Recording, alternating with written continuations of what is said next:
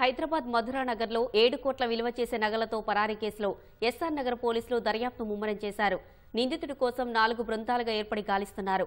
నిందితుడు Srinivas phone switch ఆఫ్లో ఉండడంతో ఆచూకీ తెలుసుకోవడం పోలీసులకు కష్టతరంగా మారింది.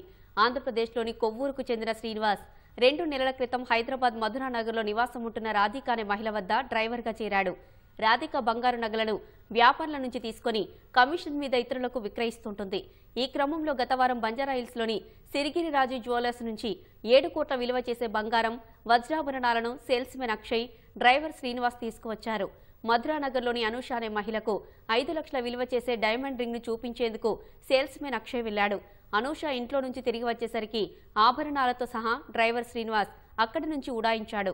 వెంటనే బాధితులు ఎస్ఆర్ నగర్ పోలీసులకు ఫిర్యాదు చేయడంతో కేసు నమోదు చేసి దర్యాప్తు చేస్తున్నారు.